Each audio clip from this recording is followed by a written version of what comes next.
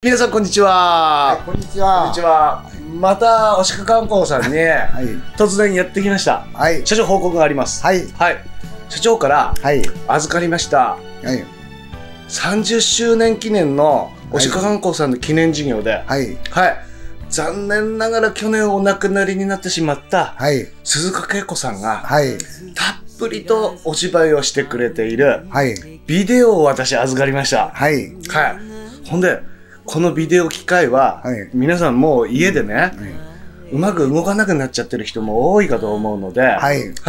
なんとかデジタルっていうのにはい。変えて、はい。スマートフォンで見れるようにできたらば、はい。今の子供たちなんかもね、はい。見てほしいし、はい。それから、年配の方も、うん。あ、懐かしいねやって、ね見てもらえたらばね、うん喜んでもらえるんじゃないかなと。はい。はい。それでデジタルうまくいきましたから、はい。はい。えー、は8個の演目がはい。入ってます。はい。えー昔話、お話ですね。はい。鈴鹿恵子さんは NHK の朝ドラのヒロインやってからね、はい。ねもう太陽に吠えろから大岡越前からはい。大活躍した後、はい。こういう民話の普及を頑張ったんですね。うん、そうです。はい。うん。それで、うんちょっと調べたら、文化庁のはい。表彰を受けてますね。うんこの方言の語りで。うんそうです。石巻弁でね。石巻弁のはい。舞台を一人でこうはい演じるという、はいすごくね、評価も受けてはい。いらっしゃった。でも去年です。残念ながら、67歳、はい若くしてね、はい。えあのお亡くなりになってしまったということを、はい。本当にあのもう惜しい人なくしたと、そうですね。石巻の宝をなくしました。ああねし昭和の大女優ですよ。うん、そうですね。はい。ということで、うんあのこれからの時代の人にもはい。やっぱりあの見てほしい、うん。うん、知ってほしいということで、うんはいえー全部で8話のお話がありますけども1話ずつはい。え15分ぐらいのね、はい。えー舞台の風景です、うん、これは懐かしの映像になりますから、はい。はい、学校とかで見てもらっても面白そうですよね。ああ、勉強になりますよ。ねはい。うん、本当、鹿観光さん、この30周年前記念事業は、今から20年、22、3年前か。22、3年前に、はい。大規模なうん。記念事業ですね。はいはい。はい。ですからね、それを今、あら、懐かしいってうん。見てくれる、えー年配の方もいらっしゃると思いますし、はいまるっきり方言わかんないよ、今の若い子、はいはい。小学生なんかもね、はい。見たら面白いと思うよと。はということで、えー天国の、えー、恵子さん、い。はい。皆さんにあのもう一度見てもらうことね、はい。喜んでくれるんじゃないかなと思いまして、はい、そうですね。はい。小道君、いいこと言いました。はい。きっとね。みんなね、あの石巻元気でねっていうふうに、恵子さんがね、えー守ってくれてると思いますから、はい。はい、みんなでこの懐かしいはい。しお芝居を、はい。はい、見てみてください。うんこういうのをね、あのー何年も使ってなかったテープ、あのね、はい。やっぱり埃とね、えー、と湿気でうん。かカビがこうなってたんですよ。で、それをちょっとね、専門業者が全部あのし消毒して、うん、綺麗にししました。なるほど、なるほどうんね。、それであの業務用のうんテレビ局でこう回すようなやつで、はいきちんとあのデジタルで読み取ったので、うん、すごく鮮明に綺麗にお顔も見えるし、はい。声も綺麗に取れてます。だから石巻の市民あともちろんあと今の子供たちはい、それを伝承してそして確かこれを私300本をね鈴鹿恵子さんがお借りになってあの各小学校さんも子供とうんバランマイだっていうのがプレゼント。プレゼントしましたね。ししたよ、うん。はい。そうすると天国でこの鈴鹿恵子さんははい、お喜びになっているとそうなんです。そう思います。今のこの令和の時代に、はい。皆さんがもう一度鈴鹿恵子さんのお顔を見てもらうこと、うん。きっとね、喜んで、うんまあ見てくれているんじゃないかなって思いますので、はい。はい。えーこれからも皆さんで石巻の話題をしていく題材になるんじゃないかなと思います。はい。はい。東京で離れて暮らしている石巻出身の方、はい。ね、YouTube だったらばいつでも見れるんで、はい。はい。じゃあよろしく皆さん、お願いいたします。はい。それでは、はいえー第1話から第8話まではいありますので、ねこ、れね。YouTube だと好きなのポチポチことうか。選んでね。見えっかな？はい。はい。はい。はい。それでは、皆さんこれから、えーぜひ見てください。はい。よろしくお願いします。はい、よろしく。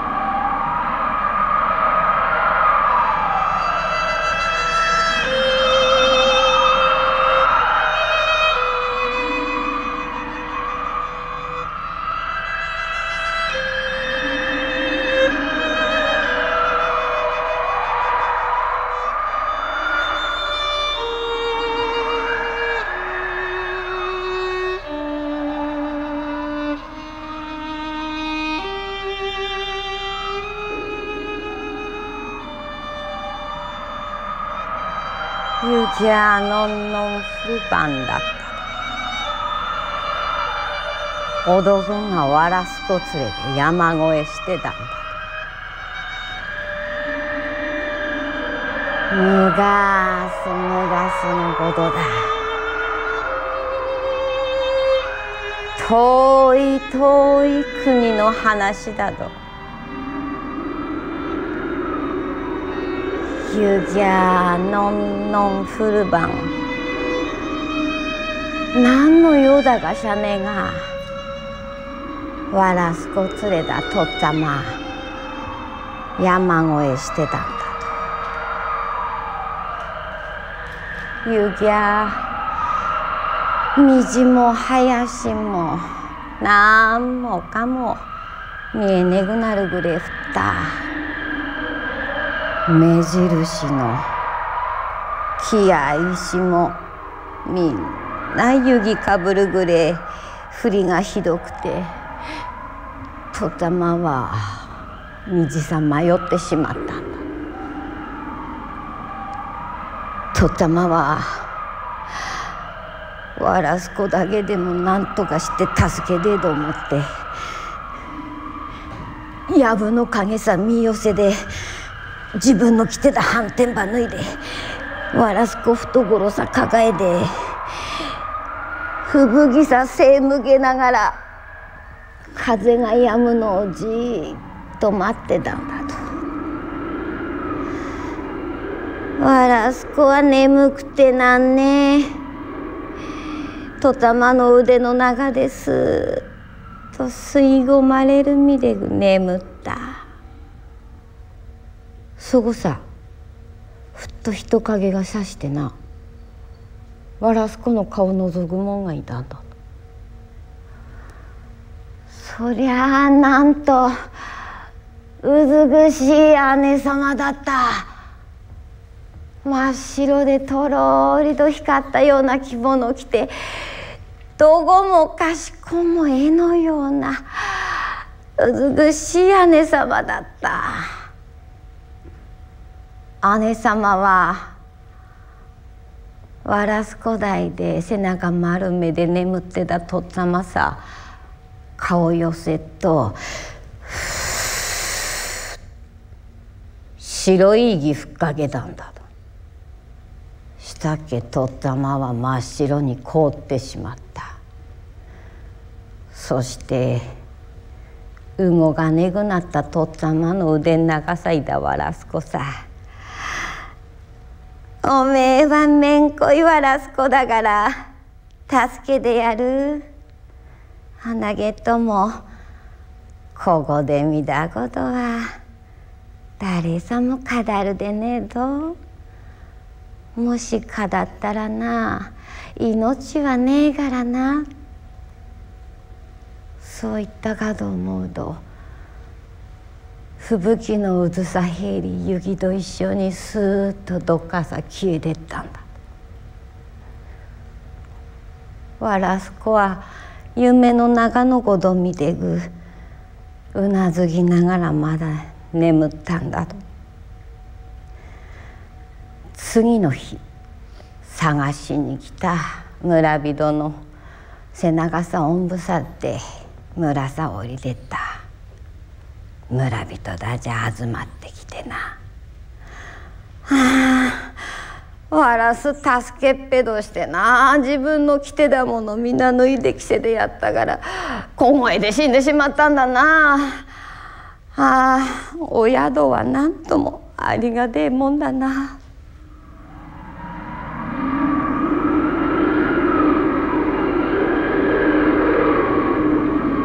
それから何年か経ってやっぱり湯気のんのん降る晩だったと。今はもういい和芸もになった。あん時のわらすがいろりのそばでおがっつぁんと夜鍋してだっけ。表ばトントンって叩くもんがいいんだと。おい誰だべな。こいな洋服になんだべな。って不思議に思って。戸を上げてみたっけ？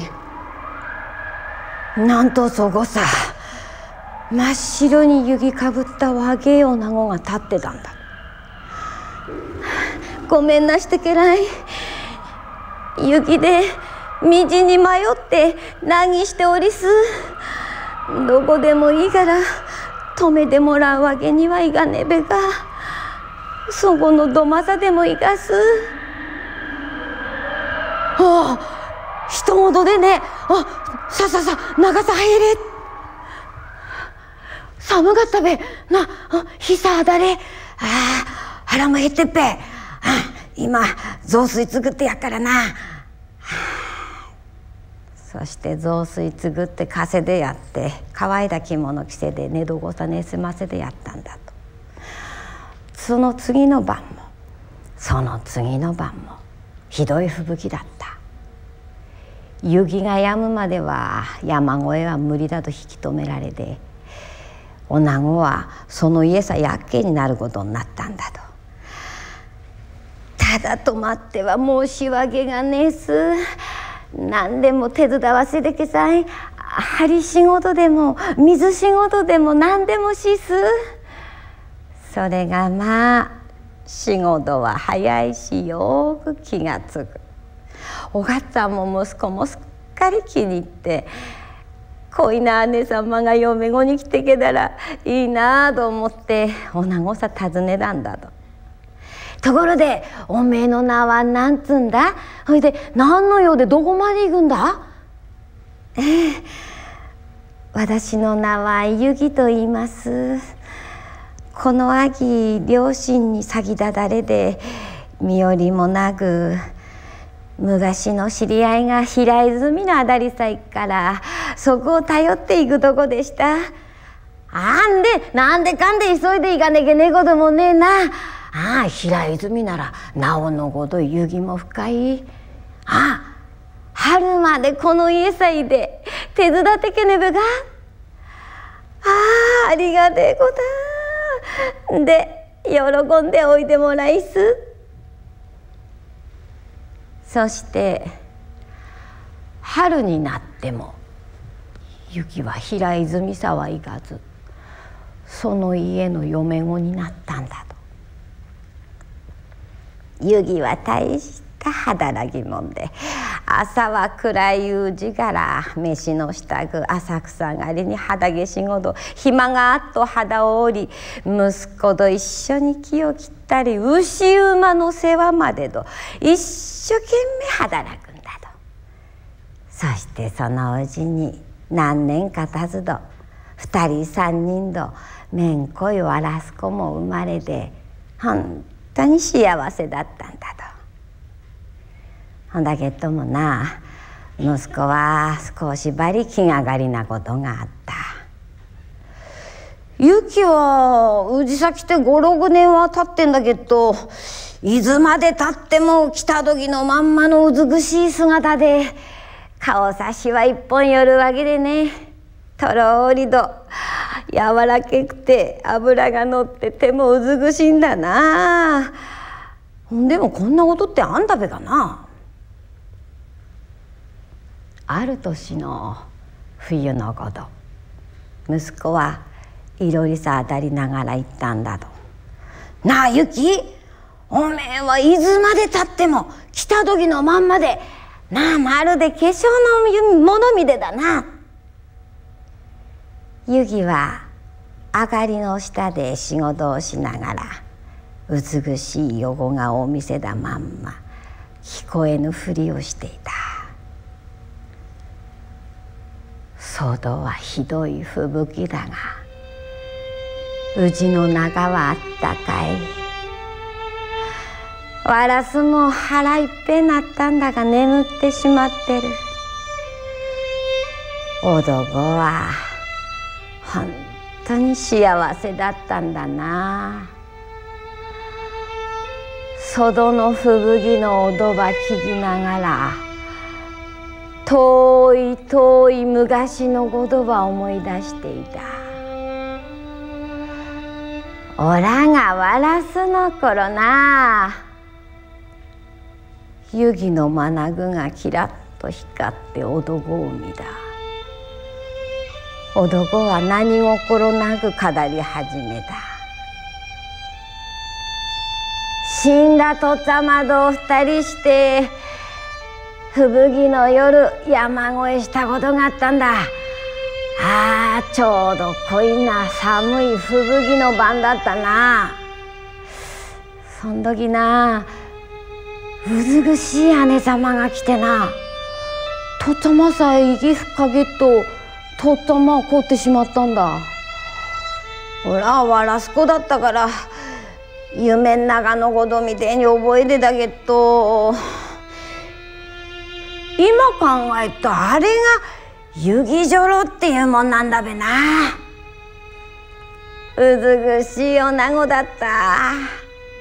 本当に美しい女子だった。あそういえばユキおめえに似てたんだ。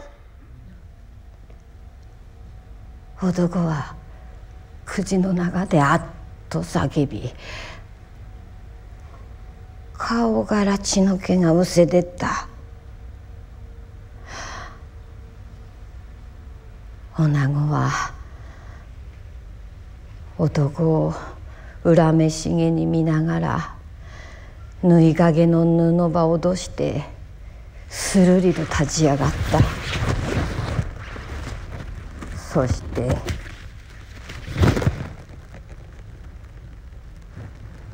なしてて語ったんだ。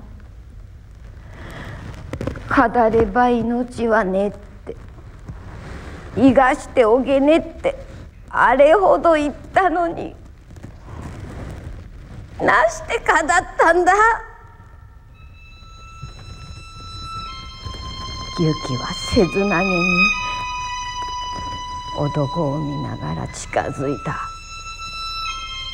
真っ黒い髪はいつの間にかほどけでざらりと硬さかかりぬれぬれと重たげに白い着物の袖さ絡まった。雪女郎に戻った雪は男の硬さ右手を伸ばしてはつかみ左手を伸ばしてはつかみ男だ顔寄せで息ふっかげっぺとしては横を向きふっかげっぺとしては下を向き泣いてるわらすたつを見ては恨めしげに男を見据えながらその肩をぐらりぐらりと揺さぶり続けたんだと。その時突然火がついたようにおぼくが泣き出した。女子はふっと男を離すと泣いてるおぼこを抱き上げて黙って雪の長さ出てって